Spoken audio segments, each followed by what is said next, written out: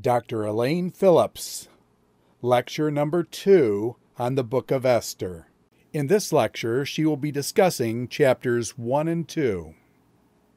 At this point, we begin to address the text of Esther, and I will be reading uh, primarily from the New, New, International Version, although from time to time I will also uh, indicate what a more literal rendition of the Hebrew does say. As we start out, it's important to realize that chapter 1 is an intentionally grandiose introduction to the king. His name is presented twice at the outset. That's a stylistic touch that sets the stage for the continuous procession of dyads through the description of the Persian court. Honor and royalty, two very important themes, are linked repeatedly throughout the chapter. Names, titles, and positions seem to be of primary importance, but the reader becomes aware that, in truth, the text is poking a good deal of fun at the upper crust of the Persian monarchy. The primary term for honor in the book of Esther is yakar in Hebrew. The adjectival form of that word means precious, costly, rare, or valuable. And there's a related adjective that will be used as well, kaved, which means heavy or weighty. It has a cognate, kavod, which means glory. And a further related noun form refers to the liver, which is considered the seat of emotion and representative of the self. Honor, linked in Esther repeatedly with royalty, is demonstrated then by an interweaving of these facets of substance, status, and splendor, all wound into the self. In the public arena, which is indeed our Persian court, respect for status, awe in the face of splendor, and dependence for substance all enhance the reputation of a given individual. And now let's turn to the text. This is what happened during the time of Xerxes, or again Ahasuerus, Achashverosh in Hebrew.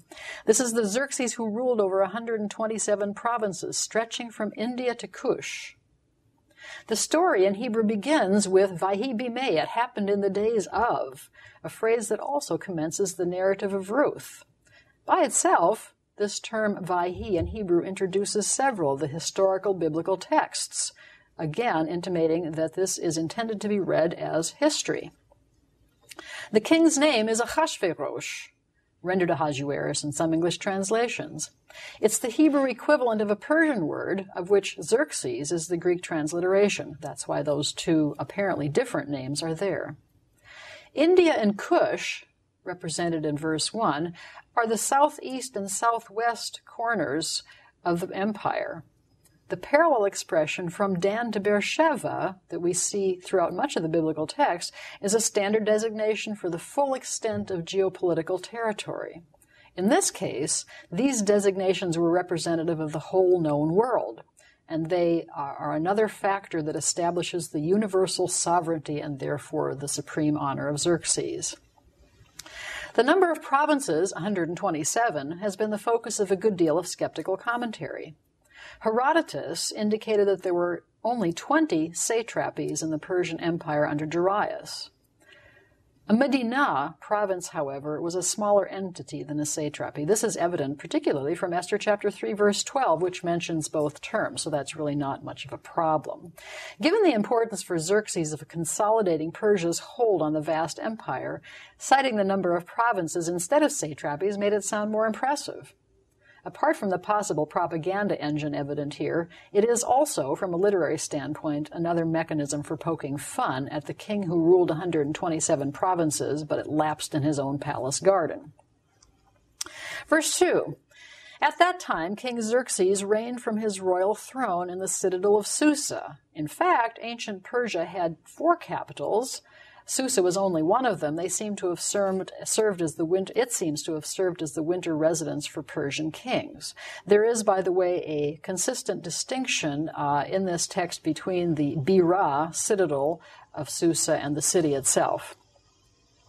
In the third year of his reign, he gave a banquet for all his nobles and officials, the military leaders of Persia and Media, the princes and the nobles of the provinces were present. The term for banquet is mishteh, a word which comes from the Hebrew word meaning to drink. Characteristically, at royal celebrations, large quantities of food were distributed. We see this uh, in a number of places in the historical books in um, the Bible. Here, there's no mention of food whatsoever. The entire focus was drinking, and significant details of chapter 1 have also to do with drinking. Some of it was quite excessive by the king's own authorization. At the end of this verse, the pairs of words that characterize the descriptions uh, have ever widening circles to them. Nobles and officials, literally servants, may have been local bureaucrats. They were joined by armed forces from Persia and Media, and finally, more distant princes and provincial nobles. Verse 4 For a full 180 days he displayed the vast wealth of his kingdom and the splendor and glory of his majesty. In the Hebrew text, showing is the first word. Xerxes was establishing his splendor before whole entourages of notables that he needed to impress, again, perhaps to bolster support for his war effort. The verbal pairs, double constructs, and other forms of redundancy highlight the inconceivable wealth of this kingdom. The text literally says, for many days, in fact, 180 days, and the narrator registers astonishment at the amount of time. It's unlikely that all the princes, servants, army personnel, and diplomats were carousing together for this full 180 days, however. Instead, this was probably an ongoing diplomatic effort to woo broad support for the attack on Greece. Groups were possibly arriving in succession. Now, just to do a little background, prior to this grandiose introduction to Xerxes, with which the Hebrew text begins, the Septuagint both revises the historical context and puts the narrative into a distinctly theological framework. It first names not Xerxes, but Artaxerxes as the Persian monarch, and then identifies Mordecai as a Benjamite in captivity, exiled by Nebuchadnezzar. The main focus of the introduction in the Septuagint, however, is to report the apocalyptic dream in which Mordecai saw two dragons ready to fight amidst appalling tribulation. The righteous people cried out to God in this dream, and a small stream became a mighty river, notably referring, referring to Esther. Light arose, and the lowly were exalted. The audience and Mordecai are left to ponder the implications of this dream until the end of the Septuagint, where it is indeed interpreted. In the meantime, also in the Septuagint. At this juncture, Mordecai overheard two eunuchs of the king plotting his assassination, and it's here that he reports it to Artaxerxes. Matter was examined, the eunuchs were hanged, Mordecai was brought in to serve in the official capacity in the court. That occurs later in the Hebrew text.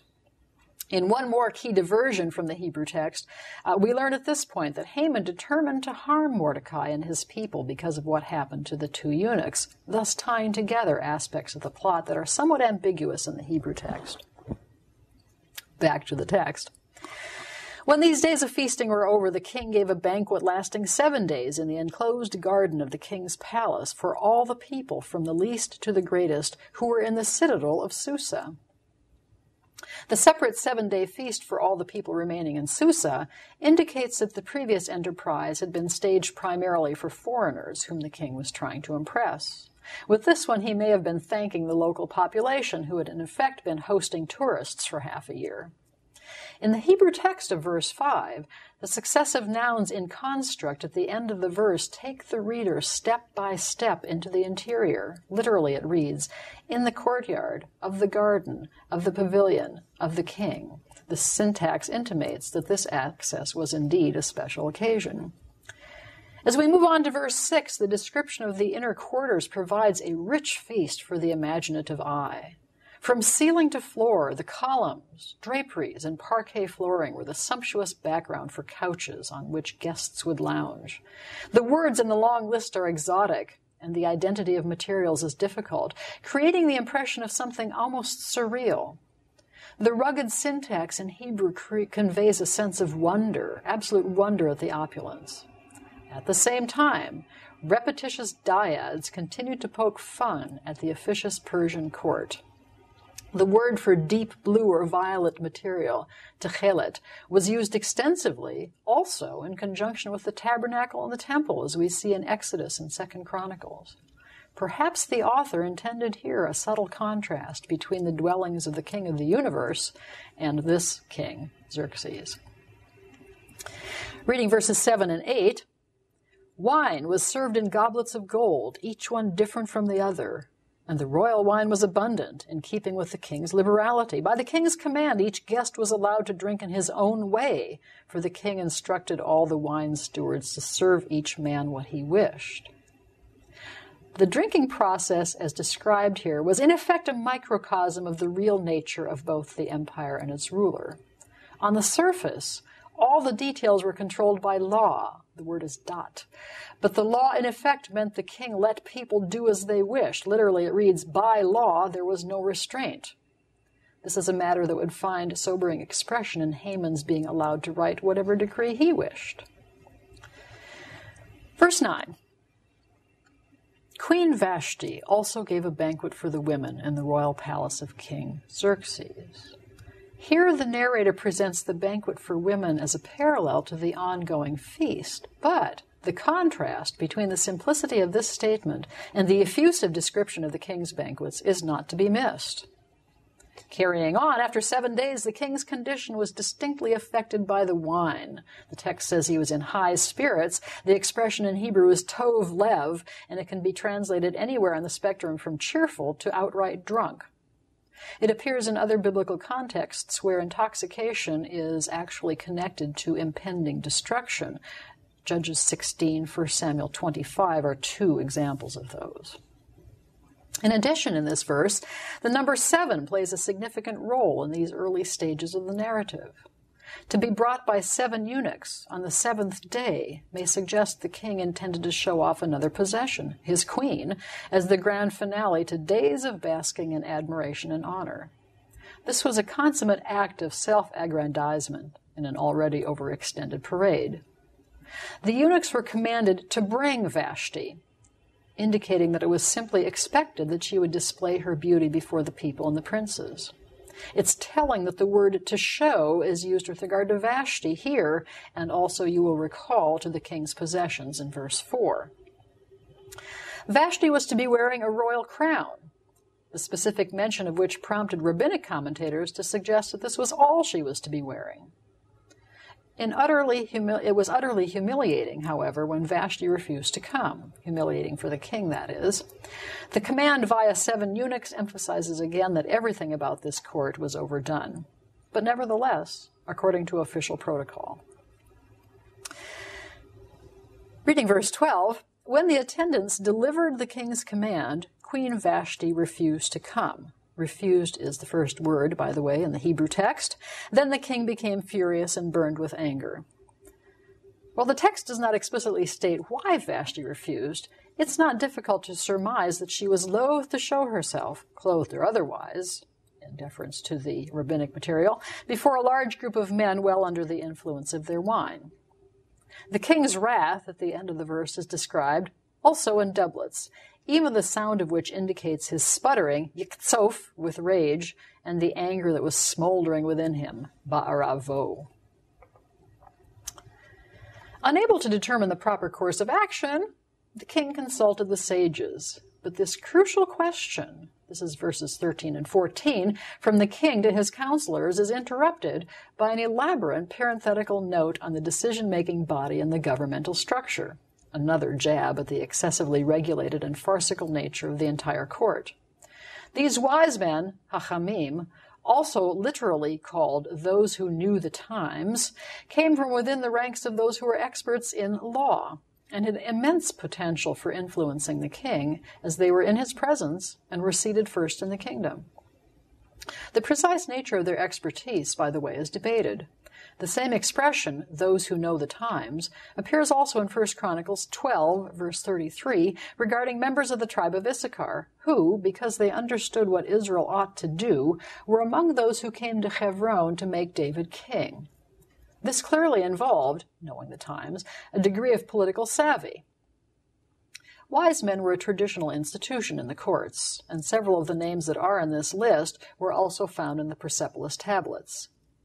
Ibn Ezra, a medieval Jewish commentator, suggested that those who knew the times were astrologers, and that dat, the law in this case, referred to the laws of the heavens. This is an interpretation that has continued to hold some sway, although there's little textual and extra textual support for it.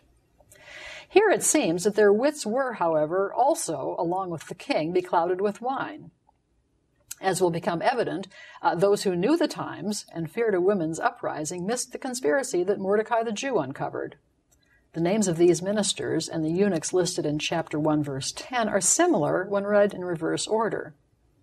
Although there are several aberrations in these reversed patterns, this might be a literary device hinting from another perspective at the reversals that characterize the entire narrative.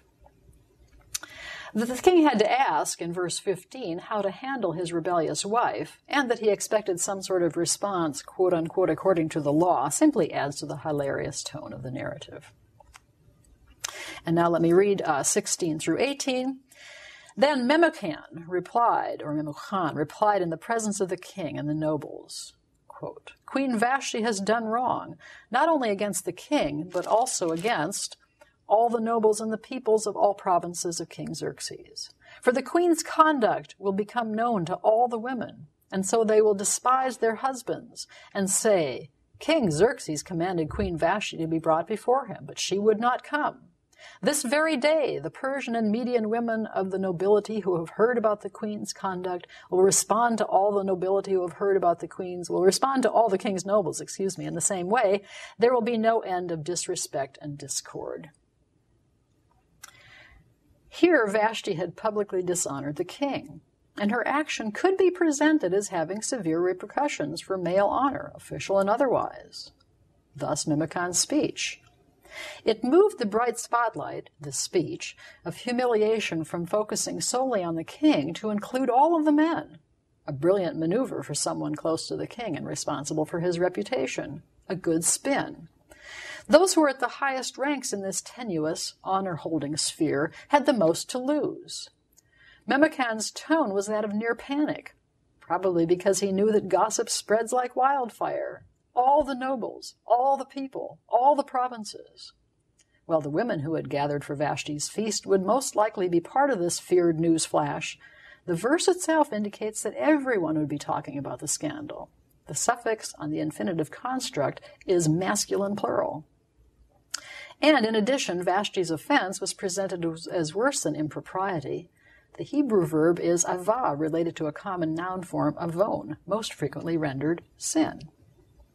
According to Memucan's worst case scenario, the women of nobility would hear of the queen's shocking behavior, and they would brazenly use it to shame their own husbands, who, because honor was woven into the very fabric of the culture, could only respond with rage. This verse, verse 18, is not a redundant repetition of the previous statement. Instead, it's a subtle indicator of class distinctions. Even the noble women would shame their husbands. While the general inebriation could have accounted for some of the apparently excessive anger, the prospect of public humiliation, because of public disobedience, really lay at the bottom of the rage. In fact, an expression of anger in that cultural context would not only be acceptable, it would have been expected. Verse 19, therefore, if it pleases the king, continuing Memucan's uh, speech and request, let him issue a royal decree, and let it be written in the laws of Persia and Media, which cannot be re- repealed, that Vashti is never again to enter the presence of King Xerxes. Also, let the king give her royal position to someone who is better than she. Then, when the king's edict is proclaimed throughout all his vast realm, all the women will respect their husbands, from the least to the greatest.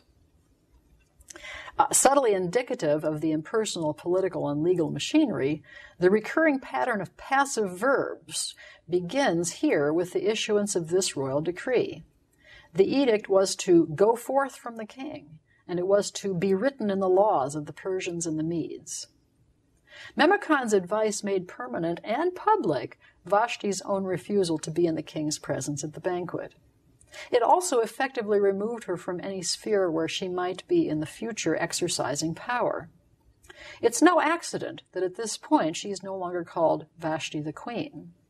Her position would be given to one who, in the fondest hopes of Memucan and the king and the rest of the nobles, have a more pliable disposition. In the finale of Memucan's speech, in verse 20, full of the requisite bowing and scraping, there's a modification in the nature and implications of the decree. The only way to achieve the restoration of male honor would be through all the women of the empire demonstrating obedience. Therefore, not only did the decree banish Vashti, it vainly attempted to address Memucan's real concern, compelling all women to give respect, yakar, to their husbands from the greatest to the least. In Memucan's presentation, this would only have to be heard another passive form of the verb for proper hierarchy and honor to be restored. And then reading 21 and 22, the king and his nobles were pleased with this advice, so the king did as Memucan proposed. He sent dispatches to all parts of the kingdom, to each province in its own script, and to each people in its own language. And now I'm going to read a different translation, which is a little more literal. Uh, Every man is to be ruling in his own house and speaking the language of his people. That's the last part of the decree. The NIV has changed the subject of speaking from every man to the previous referenced dispatch that would reach each location. In other words, it has said, He sent dispatches to all parts of the kingdom, to each province in its own script, to each people in its own language, proclaiming in each people's tongue that every man should be ruler in his own household. But notice the difference. Every man is to be ruling in his own house and speaking the language of his people. Reading it the latter way, might be understood in the light of a subculture that's described in Nehemiah chapter 13, verses 23 and 24, where intermarriage had resulted in families speaking the language of Gentile mothers instead of Hebrew. This may testify to a significant degree of intermarriage and to the power that resides in language. At any rate, writing for each political entity, Medina, and language Lashon for people groups are further examples of dyad patterns throughout the narrative. This pair is a literary indication that the coverage was indeed to be comprehensive.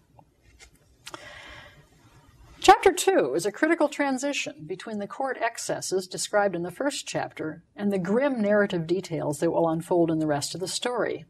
The excesses are still here, but change is in the offing, and after this chapter, nothing is languid anymore.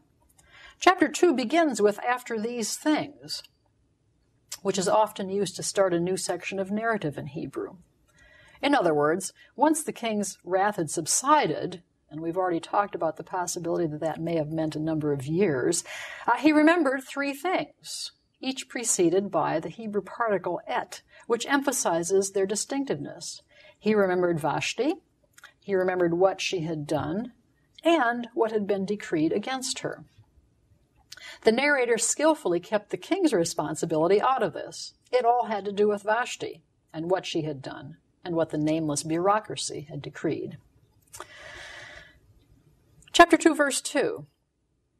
Then the king's personal attendants proposed let a search be made for beautiful young virgins for the king. Verse 3 Let the king appoint commissioners in every province of his realm to bring all these beautiful girls into the harem at the citadel of Susa. Let them be placed under the care of Hegai, the king's eunuch, who is in charge of the women, and let beauty treatments be given to them. Verse 4 Then let the girl who pleases the king be queen instead of Vashti. This advice appealed to the king, and he followed it and as we can see, the satire on the Persian court continues. The young servants of the king made his decision as well. But they did it adroitly to make it appear that Xerxes himself would choose the new queen. Note they said, verse 4, the young woman who pleases the king. The criteria, repeated in the next verse, are articulated as young women, virgins, beautiful. Each term narrows the field and it sets up as one of antiquity's beauty pageants what was about to unfold. The word for virgin, betula, indicates a young woman of marriageable age who is under the guardianship of her father. This would indeed include Esther under the guardianship of Mordecai. The roundup of beautiful young virgins would be conducted in the same officious manner as the rest of the Persian bureaucracy. Note a commission responsible for getting all the likely prospects to the harem at Susa was appointed to gather them from each province. The description of the operation makes it quite clear that local populations, which would include Mordecai, had absolutely no choice in the matter. One can imagine the confusion once all these young women began converging on the citadel area. The text implies large numbers, with every province and every young woman coming. Once there, the beauty treatments would follow, as we will see. The king, uh, sorry, the attendants deferred to the king's approval. This young woman was to be pleasing in the king's eyes, as was the decree, uh, regarding both the acceptability of their plan and the ultimate selection of the young woman. The plan had two stages. First was gathering all the beautiful virgins, the second was indeed the contest. contest. They seemed to be aware that the last thing the king wanted was an ambitious woman. The roundup was necessary, and this would demonstrate that the king was firmly in control. And that sets the stage for the human heroes of the story. The identities of these main characters are really more important than their surroundings, and the verse will highlight that. This is, by the way, a stark contrast to the description of the Persian court in the first chapter. Both Mordecai and Esther have a venerable history, and that is indicated by Mordecai's lineage. Now there was in the citadel of Susa, verse 5, a Jew of the tribe of Benjamin named Mordecai, son of Yair, son of Shimei, son of Kish. Genealogy. The word order in the Hebrew text is significant. The verse begins with Ish Yehudi, a Jewish man, who was in the citadel of Susa. These identifying marks appear even before his name, and they will hint at the conflict that follows, setting up the Jewish counterpoint to the Persian king and key members of his court. The focus of this verse is Jewishness and genealogy. Mordecai is repeatedly called throughout the text Mordecai the Jew, pointedly distinguishing him in this diaspora context. The primary question regarding the genealogy is the impossible age of Mordecai if the relative clause of verse 6 refers to his being taken into exile rather than the last named individual in the genealogy, who is Kish. Because that's unlikely for a narrator seemingly so careful about detail, it's really more probable that Kish was the individual taken into exile, and these forebears of Mordecai had names that reflected earlier generations of the family tree. It was not unusual for clan names to continue throughout generations. If that is so, then for Mordecai to be a responsible man caring for his cousin and functioning in the king's gate in the 480s BC, he may have been born in exile to Yair in, say, 520. Perhaps Yair's birth, a generation early, would be dated to approximately 550, and his father, Shimei, may have been born shortly after Kish was taken into exile in 597. Attention is directed toward Kish who was the father of King Saul, for Samuel chapter 9, uh, in order to prepare for Haman's ties with Agag. It was, as we already know, that long standing enmity between Amalekites, the people of Agag, and Israelites that made the crisis between Mordecai and Haman understandable. Both were descendants of royalty King Agag and Saul, first king of Israel. Moving on to verse 6, a literal rendition of it focuses on the exile. Let me read literally. Mordecai, sorry, Kish, who was exiled from Jerusalem with a group of exiles, which was exiled with Jeconiah, king of Judah, whom Nebuchadnezzar, king of Babylon, took into exile. The first two verbs are passive, and the last refers to Nebuchadnezzar, who caused the exile of the people. The exile shaped these characters whose lives personally mirrored, uh, mirrored the national experience of Israel.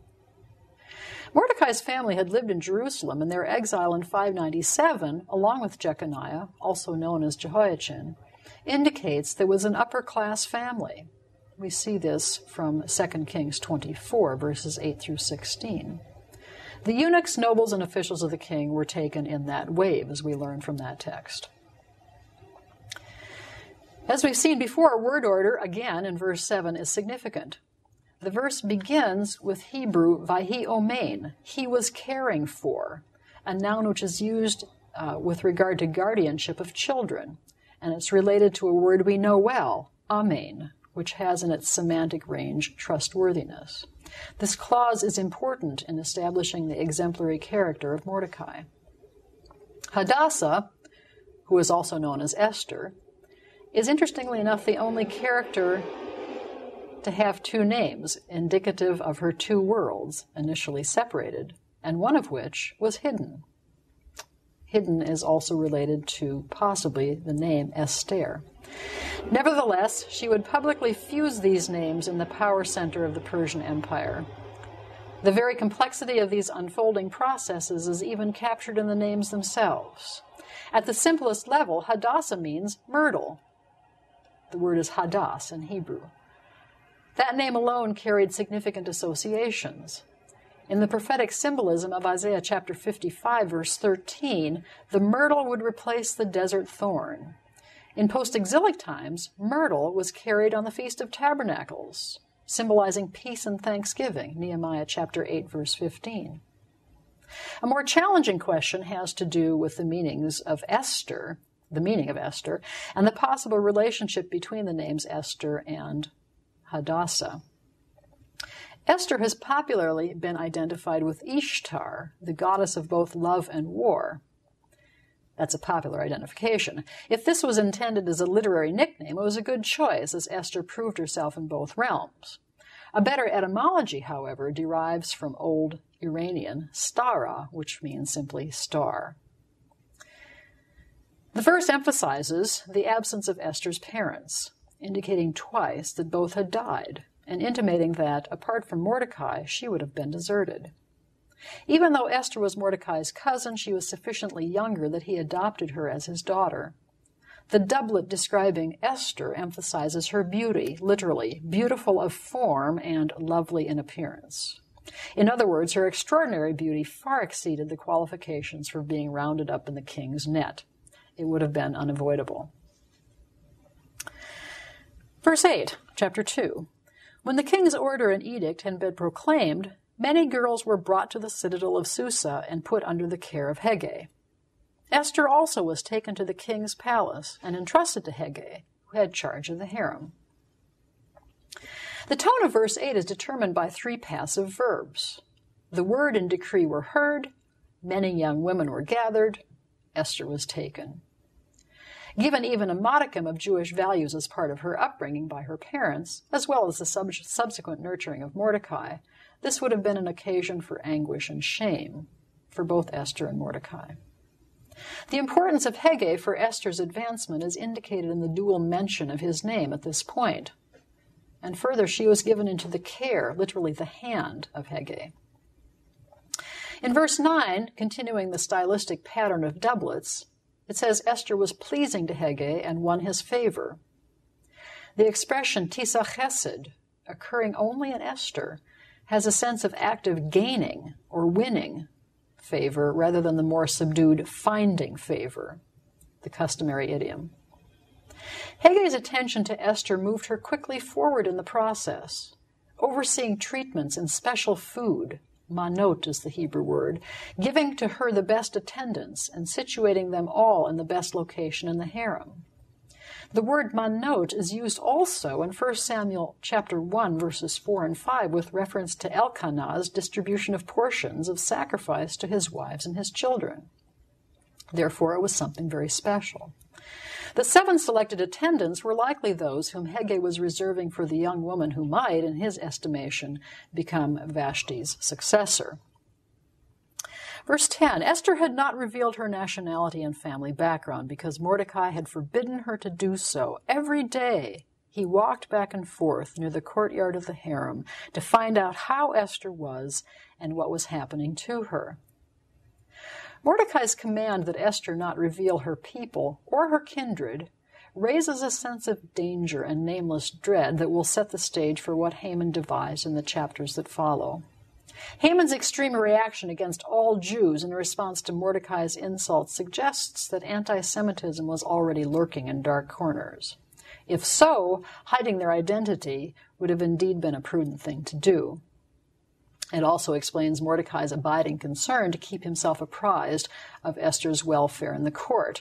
This was manifested in his daily presence outside, literally in front of, the courtyard of the harem, where he was adept at checking on her welfare. The word is shalom there, perhaps through connections he maintained into the harem.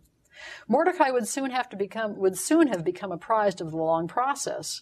Perhaps it tried his patience as he went on. It went on for a year.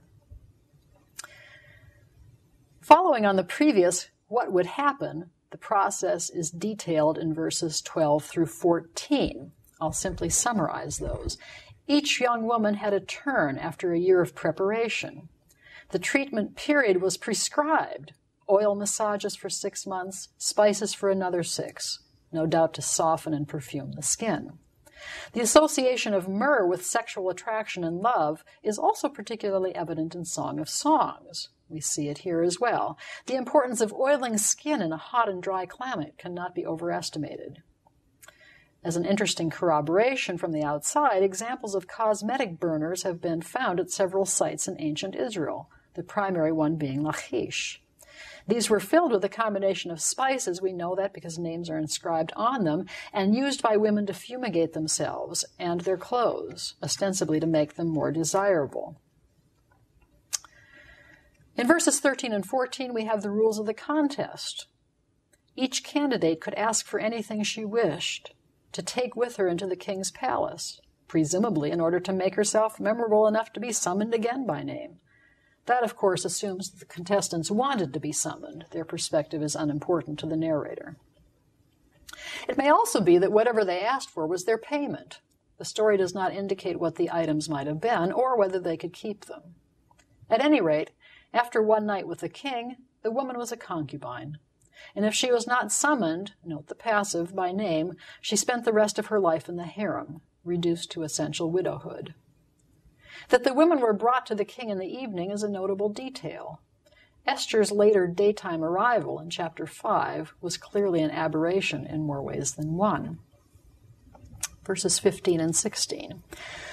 When the, term, when the turn came for Esther, the girl Mordecai had adopted, the daughter of his uncle Abihail, to go to the king, she asked for nothing other than what Hegai, the king's eunuch who was in charge of the harem, suggested.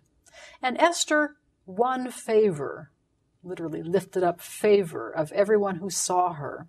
She was taken to King Xerxes in the royal residence in the tenth month, the month of Tevet, in the seventh year of his reign. In one of the scroll's characteristic parentheses, Esther's Jewish identity is given just as she was about to cross the threshold into the king's palace. Not a likely place for a young Jewish woman. She was, the reader is reminded, daughter of Abihail, but she would emerge as queen. Her strategy is contrasted with that of the other candidates. Her success was due to her restraint. Chances are that Hegai, who also knew women quite well and knew precisely what would enhance Esther's beauty, gave her just the right thing. The narrative is reserved, but the reader is to surmise that she expected to engage in the same activity as all the others albeit in a significantly different manner without the excesses of adornment. While Esther won favor, chesed, in connection with Hegai, who oversaw her and was her superior, more publicly she won grace, chen, a probable testimony both to her stunning beauty and to her demeanor. There is a hint here, by the way, that the route to the king's bedroom may have been customarily involving a bit of a parade. In verse 16, we have the final instance in which Esther was taken. Even though the narrative depicts her passivity in the human sphere, providentially, it was at this point that she reached the place she was supposed to be. Chapter 4, verse 14 will allude to that, in order for deliverance for the Jews to take place. She was taken in the tenth month of the seventh year. Four years had elapsed since the removal of Vashti, and this fits well with the intervening interval on the battlefront. Verse 17. Now the king was attracted to Esther. The Hebrew there is actually the king loved Esther. Ahav is the word, more than any of the other women. And she won his favor and approval more than any of the other virgins. So he set a royal crown on her head and made her queen instead of Vashti. The king's response to Esther is striking. He loved her, she won grace and favor, v'chesed, above all the virgins who visited him. Appropriate for the coronation, there was immense court celebration, empire wide ramifications, great banquet for nobles and officials, and this seemingly closes the look at the Persian court from the um, unharmful side. Now we move as a transition to some more ominous things. Verse 19. When the virgins were assembled a second time, Mordecai was sitting at the king's gate. A dramatic incident begins to occur at this point, and the two parts of this verse, oddly juxtaposed, stylistically hint at its surprising nature. Clearly, the second gathering of virgins sets the context for Mordecai's presence at the gate, but there's no indication as to what precisely this second gathering represented, when it occurred, or why. The Vav conjunction before when they were assembled suggests a connection to what has just transpired. In that case, perhaps there was a large assemblage of virgins as part of the celebrations, but why they were gathered is not clear. If the king was indeed pleased with Esther, maintaining an overextended harem would not be necessary. On the other hand, it's possible that the king's attendants who knew him well had a regular routine for keeping the harem full. Perhaps eunuchs were integral to the process of herding virgins, and because the two would be assassins discovered by Mordecai at the gate were eunuchs, the narrator may have felt it important to note this particular event as background for that discovery. The significant element for the continuing story was Mordecai's position in the king's gate. That's a locus of authority where administrative and judicial activities occurred and where information abounded, leading both to intrigue and bids for power. It marked a boundary. Guards were an important part of gate areas, and those guards were eunuchs. Mordecai's presence at the gate is noted multiple times. If the second gathering of virgins had to do with major changes in the harem structure, this would have been a good occasion to get him repositioned. Verse 20, Esther's secrecy regarding her people and kin and Mordecai's command to keep silent are reiterated, intimating the ominous and undefined nature of some threat. Mordecai seems to have been keenly aware of potential danger. Given the nature of his daily activities, he was likely privy to a good deal of subsurface menace. Verse 21 stresses Mordecai's presence at the gate. In those chaotic days when there were more virgins milling about, officials who were eunuchs were guarding, and among them were Bigtana and Teresh. The reason for Bigtana and Teresh's anger is not given, but it was sufficient to hatch the assassination plot.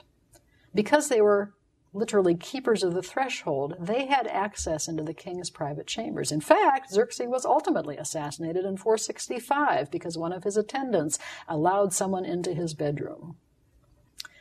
At any rate, the covert nature of Mordecai's discovery is implied in the passive, the matter was made known to Mordecai. As a loyal subject of the king, he informed Esther, who in turn told the king, giving Mordecai credit. In keeping with Persian impersonal bureaucracy, the matter was investigated, the two were found and hung, a notice was written, all in the passive voice. Hanging on wood, hung, all eights, would have meant either impalement or crucifixion in the Persian period. It's unlikely it was death by hanging. More likely the hanging was public humiliation by the exposure of the body after death. And this all sets the stage for chapter 3. This was lecture number two by Dr. Elaine Phillips of Gordon College on chapters 1 and 2 of the Book of Esther.